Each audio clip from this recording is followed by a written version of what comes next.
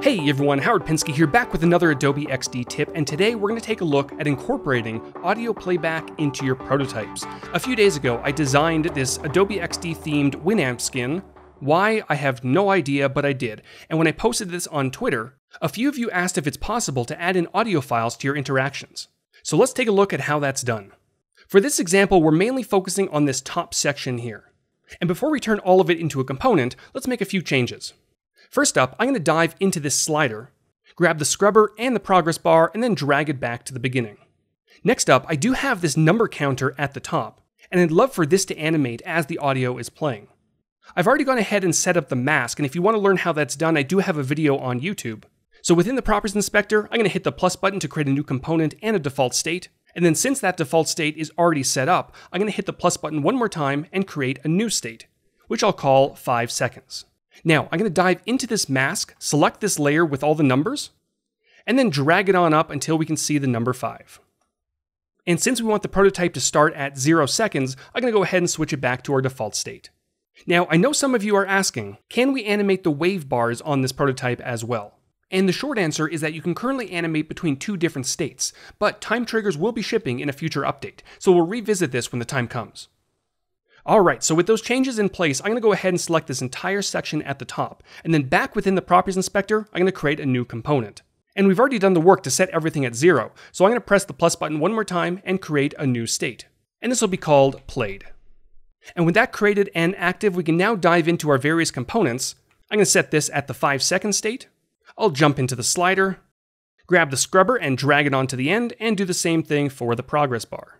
And finally, I'm going to grab this text layer at the top, which is currently sitting inside of a scroll group, and drag it on over to the left. And just like that, we now have our two states. We have our default state, and we have our played state. And now comes the fun of wiring this up. So from our default state, I'm going to hop into prototype mode at the top.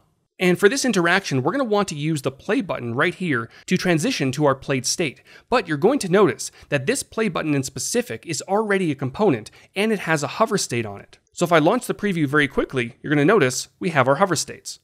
And because of this, we're not able to use this component directly to trigger a state on the parent component. But the workaround is quite simple.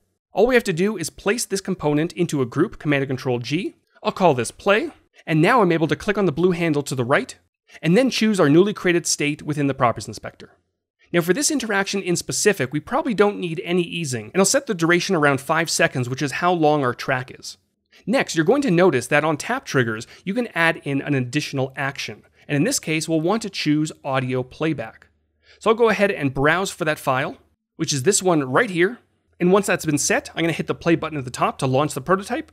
Then I can hover over our play button and click. You're listening to Component States of My Mind by DJ Repeat Grids. And from here, I can switch over to our played state, select the previous button, click on the blue handle, and then I can choose our default state. And for this interaction, we probably don't need any animation, so I'll set the type to transition with the animation set to none. And now, one more time, I'm going to go back to our default state, play our audio. You're listening to Component States of My Mind by DJ Repeat Grids. And then we can go back to reset it. You're listening to Component States of My Mind by DJ Repeat Grids. And that's one example of how you can incorporate audio playback into your prototypes. Hope you all enjoyed this video. Make sure to subscribe for more content. Follow me on Twitter, and I'll see you all next time.